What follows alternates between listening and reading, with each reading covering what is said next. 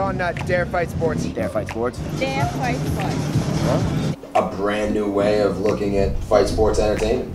Dare Fight Sports. Dare Fight Sports. Dare Fight Sports. Dare Fight Sports. Dare Fight Sports. John Nutt, Dare Fight Sports.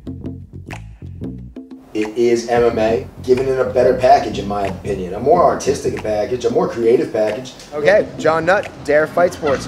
Dare Fight Sports. What is Dare Fight Sports? You want to know about Dare Fight Sports? What is Dare Fight Sports? In any sport, in any entertainment, there's sport and there's spectacle. Dare fight sports is gonna be the best of both worlds.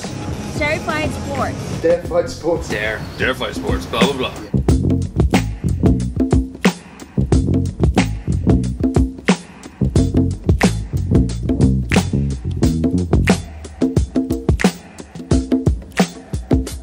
Fight sports is a whirlwind of thunder and pain. Dare Fight Sports is a whirlwind of truth.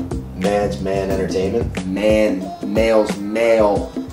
Axe fucking cutting wood, chewing tobacco, shooting fucking shotguns. You know what I mean? I'm cocking it. Dare Fight Sports is a movement, revolution in the world of MMA. Every other mixed martial arts organization is kind of formulated toward completely the sporting entertainment aspect. You know, most of them are trying to go on E ESPN. We're trying to go on HBO. It- It's a fucking jetpack.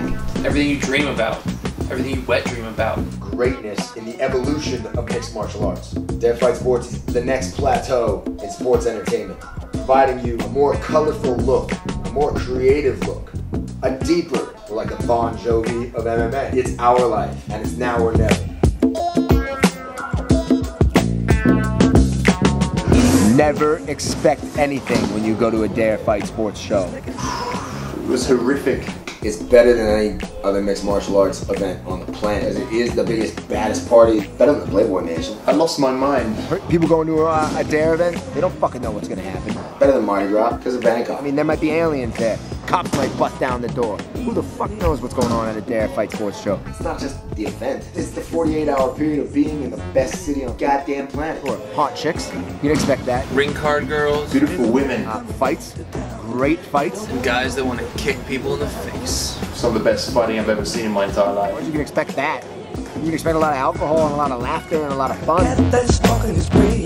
He don't wanna let it get away. So he's easy, easy. Boom, wake up, kind of hungover, maybe have a drink, head over to the event. All that's going on. Ladies are up in the joints. Smell of fear in the air. Here, people are serving alcohol. Alcohol started to flow. Midgets are running around over here. Naked dwarfs running around, heads on fire. Music's going up, Music, mind-bending music. and the party starts erupting. You hear music that you actually want to hear. Women, Jesus Christ. Beautiful women, though. Again, Titties. the underdressed. Some live music breaks out. The laser light shows are going on. There was a cage in the middle of the room. Cage of metal, padding, and brawn. and the screens go up, and the fucking thing turns to black. The best characters in the world coming up onto the screen. The lasers come back down. The music just picks up. You're getting real into it, and all of a sudden, two guys come out and they fight in a cage with.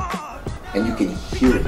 You can hear it. And the electricity is magical. And you're all there to see these two people, these two fantastic combatants, athletes, get down. The energy is mystical. It really is. Not the rapper, but the uh, sense of. That was pretty good. That was good. Yeah. that was good. Okay. Dare Fight Sports. Asia's coolest Asia's coolest The most exclusive mixed martial arts. mixed martial arts. organization. Game on, motherfuckers. Game on. Game on. Game on. Dare Fight Sports. That's good stuff.